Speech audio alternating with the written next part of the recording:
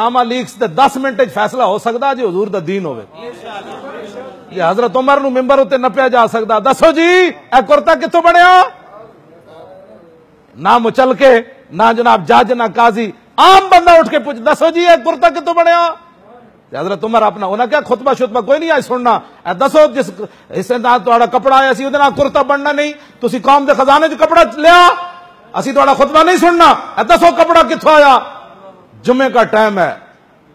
ہزاروں کا اجتماع امیر المومنین، جن کے حیبت اور جلال سے شیطان بھی دوسری گلی چلا جاتا تھا۔ جن کے حیبت اور جلال کے ڈنڈے سے زمین ہلتی ہوئی رک گئی اور جن کے خط کے جلال سے دریائے نیل چل پڑا۔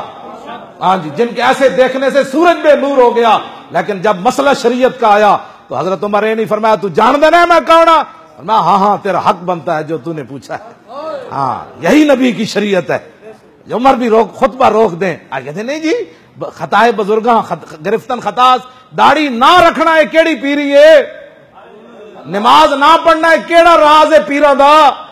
سانو بھی وہ دین دسو، جس دین نہ تسا مذاق شروع کیتے ہوئے ہاں حضرت عمر کو تو ممبر پر تو پیر صاحب کو کچھ نہیں کہنے پیر ہے؟ تو میں نے کہا، پیر نے رسول اللہ کا کلمہ نہیں پڑھا، مولوی نے نہیں پڑھا، عوام نے نہیں پڑھا، حکمرانوں نے نہیں پڑھا۔ اے گالے جڑا جس دین دی میں گال کر رہا ہاں، او دین ممبر ہوتے ہیں حضرت عمر نو۔ پوچھ لینا تے او دین اتنا ڈاڈا ہے کہ چودھریاں دے گھر پانچ پانچ کلو دے تھیلے واسطے نہیں لے دینا غریباں نو۔ صاحب زکات دیو، ستے ہیں دوپہر ٹائم، تے غریب بار دھپا دے لینڈ لا کے کھڑن زکات دینی۔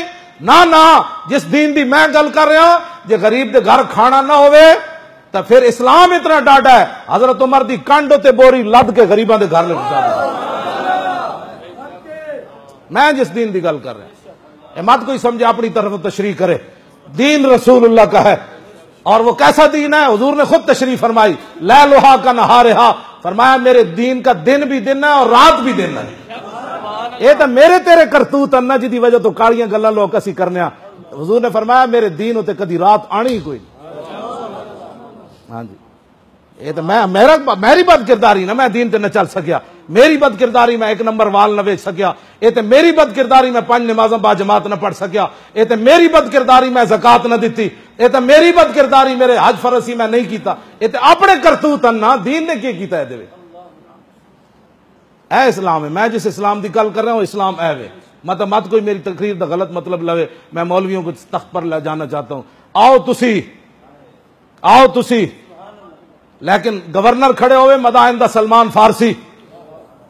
تے مصر جو تاجر ਆ ਜਾਣ ਮਾਲ ਲੈ ਕੇ ਤੇ ਤਾਜਰ ਇਹ ਵੀ ਪਹਿਚਾਨ ਨਾ ਕਰ ਸਕਣ ਕਿ ਇਹ ਮਜ਼ਦੂਰ ਹੈ ਜਾਂ ਮਿਸਰ ਦਾ ਗਵਰਨਰ اقبال اتنے بولیا، کہندا، در عمارت فقر را افزودان مثل سلمہ در مدائن بودان۔ اقبال کہندا ویکھو مسلمانہ دی کی صورت حال ہے؟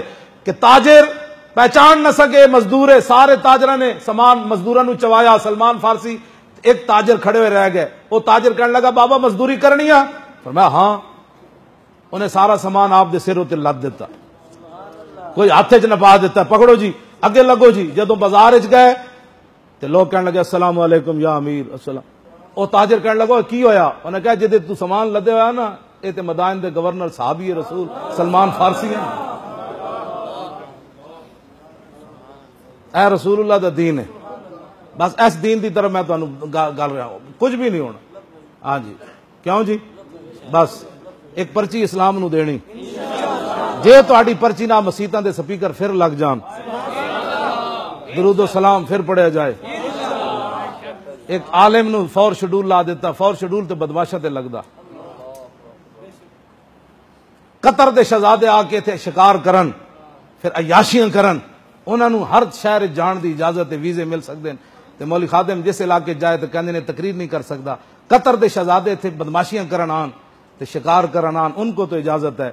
تو مول خادم کو اپنے نبی کی عزت کی تقریر کرنے کی بھی اجازت نہیں۔ ہے گلوں واپس کرنا ہے نا۔